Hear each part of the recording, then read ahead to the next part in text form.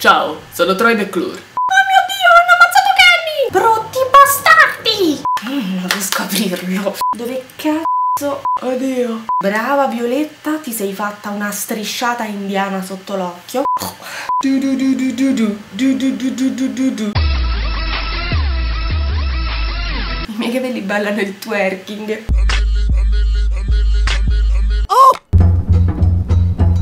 Ciao! Non vi prendete paura, eh? Sono struccata, ho un'acconciatura molto sexy. Ma non fateci caso, l'importante sarà quello che vi dirò. Vi consiglio di andarvi a prendere un goccio di latte e dei biscotti. Pubblicità assolutamente occulta. Perché io adesso comincerò a sproloquiare alla grande, dirò anche un sacco di c***o così tanto per gradire non lo so per rendere più piacevole quest'ora e mezza di video potreste sgranocchiare qualcosa allora come state? vi siete ripresi da questa fantastica notte degli Oscar? l'avete vista? perché io non l'ho vista perché non ho Sky solo dopo che è stata fatta la notte degli Oscar ho scoperto che si poteva seguire in streaming però mi sono andata a leggere chiaramente tutti quanti i risultati e oggi parleremo proprio di questo Che coglioni! Qualcuno di voi me lo ha chiesto, io mi sono subito sentita importante e ho detto ma sì dai ci faccio un video. In realtà la mia opinione riguardo agli Oscar, diciamoci la verità, conta come due de coppe quando regna spade. Eh? O come spade quando regna bastoni, si dice a Roma. Dice che vuol dire? Vuol dire che non conta niente. Ah,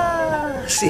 Mi rendo conto che la mia credibilità è peggiorata anche dal fatto che c'è una busta da Ikea lì. Vogliamo dire che c'è un po' di caos. Sì, diciamolo. Quindi fate un po' voi se restare o no, io vi faccio sto monologo random, così perché ho bisogno di sfogarmi su sti Oscar. Sono più che altro curiosa di sapere la vostra opinione, se siete d'accordo con me oppure se non siete d'accordo con me e i motivi per i quali magari non siete d'accordo. Se magari avete visto un film che io non ho visto per esempio e mi volete dire se secondo voi ha meritato di prendere l'Oscar o no, oppure chi se lo sarebbe meritato secondo voi tra quelli che erano in concorso che avete visto. Insomma, dialoghiamo, però buoni, state garmi, ordinati, uno per volta, non se scannamo. Siamo tutti una grande famiglia felice, perciò non facciamo i fratelli peluri, eh? E zitto! A me taglio! Così. A me taglio, così! Ma che che dici? Che il pane ci metti nel... No, aspetta, no, no, non è così. Qui a me piace un film, a te non ti piace? Ma sono deficiente, bo bo bo. Come? Se non ci piacciono gli stessi film, nessuno dei due è deficiente. Ora, magari io sono anche una deficiente, ma questo è a prescindere da se mi piace o no un film che a voi piace. Io comincerei con gli argomenti più scabrosi. Mm, per esempio, la grande bellezza. Io a Sorrentino gli voglio una cifra bene, capito Paolo? Non ti preoccupare. Però, Paolo, devi anche accettare le critiche, voglio dire. Ora, non ho visto tutti gli altri film in concorso per miglior film straniero, però ce n'era uno. Il sospetto con Mads Mikkelsen di Thomas Winterberg è un film danese 10 volte superiore alla grande bellezza. Provare per credere. Allora, perché non? Perché la grande bellezza è effettivamente una grande bellezza, cioè nel senso è esteticamente, tecnicamente bellissimo, ben fatto, perfetto, fotografia da paura, inquadrature pazzesche, questa Roma stupenda, sono rimasta incantata dalla bellezza della grande bellezza. Però manca qualcosa. È un film vuoto, ok, vuole essere vuoto perché racconta di una società alto borghese decaduta e quindi vuole essere vuoto. Il problema è che non solo è vuoto, ma è anche inconcludente. Frasi poetiche, musica ecclesiastica, inquadrature perfette. Fotografia divineggiante, suore che si trascinano per le scale, fenicotteri digitali e se vede che volano sul Colosseo. Questa sceneggiatura con queste frasi un po' fatte. Chissà che mi sta dicendo, come sei profondo Paolo. Poi va a finire che lui è un uomo insoddisfatto e vuoto che ritrova nel ricordo del suo primo amore il suo senso della vita. Va bene, però non mi hai detto niente di nuovo. Gli americani secondo me sono rimasti molto affascinati da tutti questi effetti speciali all'italiana e ci hanno fatto vincere per questo. Complimenti a Tony Servillo che è sempre un gran signore e ha insultato pubblicamente, come ricordo solo Galeazzi fece con la Veniera anni fa, una povera giornalista che ha osato criticare il capolavoro. Pronto? Noi lo Pronto? sentiamo, ci sente? No.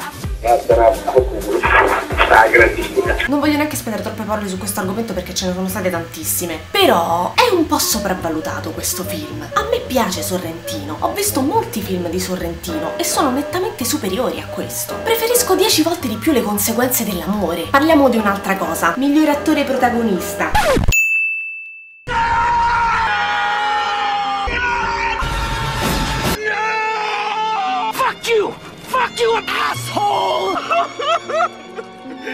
Matthew McConaughey. Perché? Perché il film è bello, a me è piaciuto e sono molto contenta che abbia vinto come attore non protagonista Jared Leto, che è stato bravissimo. Quel ragazzo è veramente fottutamente bravo, oltre che un fico da paura. Ma questa è un'altra storia, non influenzerà il mio giudizio. Ecco, io non sono molto contenta che abbia vinto Matthew McConaughey. Christian Bale in American Hustle è stato 10 volte più bravo. E Leonardino pure. Io gliel'avrei dato a Leonardino a sto giro. Però, secondo me, hanno voluto premiare un po' più le tematiche del film. Ti pare che la giuria degli Academy Awards premia come miglior attore protagonista Leonardo DiCaprio in un film molto molto molto molto controverso di Martin Scorsese. Parecchio politicamente scorretto. A me è piaciuto, è fighissimo quel film. Scorsese ha creato due ore e mezza di intrattenimento puro. Leonardo DiCaprio è bravissimo. Però il caro Matthew ha recitato in un film sull'AIDS che attacca anche le case farmaceutiche. Voi mette Oscar a Matthew McConaughey. Secondo me è così. Te lo dico io. Te fidi? Povero Leonardo DiCaprio. Cioè, pensateci, quel ragazzo, so vent'anni che si spacca il c***o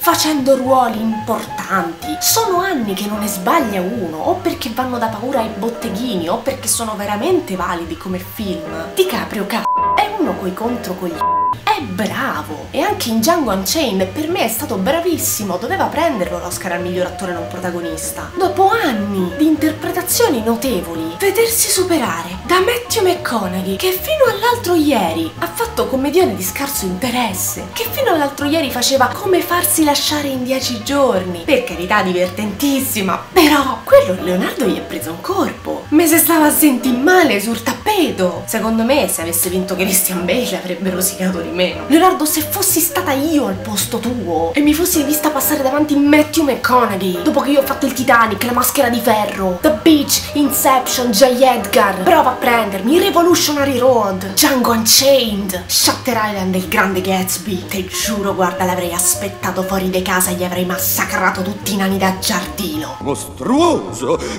Leo, I love you. Che poi gli americani quanto gli piace quando le star si deformano per interpretare i film. Tu vedi che se ingrassi 300 kg, se ne perdi 400, sei molto vicino a prenderti sto Academy Awards. Migliore attrice protagonista l'ha vinto Kate Blanchett per Blue Jasmine di Woody Allen. Meritatissimo, a parte che il film è veramente figo, un po' sullo stile di Sogni e ma meno cruento. Però è una commedia amara, diciamo. Veramente meritato secondo me l'Oscar a Kate Blanchett. Migliore regia da Alfonso Cuarón per Gravity e secondo me alla grande sono strafelice che poi ha preso tutti i premi tecnici Gravity ha preso tipo 7 Oscar ha preso miglior regia, miglior suono miglior montaggio, miglior fotografia cioè ha preso un sacco di premi tecnici. Cazzo storia è bellissima, è pazzesca. Io pensavo che avrei visto un film tipo che ne so, Armageddon. Invece non c'entra un tubero. È una metafora della vita. Ci sono delle simbologie pazzesche. È bello, bello, bello, bello, bello. Ve lo dovete vedere. Tra l'altro, Quaron, mica pizza e fichi, eh. È il regista del mio Harry Potter preferito, il numero 3, Il prigioniero di Azkaban. E poi ha fatto anche un film stupendo che si chiama I figli degli uomini. Anche quello vi consiglio di vederlo. Lui è un regista pazzesco. Ci sta un piano sequenza nei figli degli uomini che ancora sto chiedendo come cazzo l'hanno girato. Miglior sceneggiatura originale l'ha preso Hair di Spike Jonze. Non vi dico niente su Hair perché voglio fare una cinerubrica apposta per Hair perché è un film tra i miei film preferiti in assoluto di sempre. Spike Jonze ha superato se stesso. Miglior film d'animazione. Quest'anno ha vinto un film della Walt Disney Animation Studios che è Frozen e il regno di ghiaccio. Carino, carino, molto carino, delizioso. È più una commedia musicale perché ci sono veramente tante canzoni di più che in Rapunzel per esempio. Però a me è abbastanza piaciuto. E adesso ad aprile c'è il Romix qui a Roma.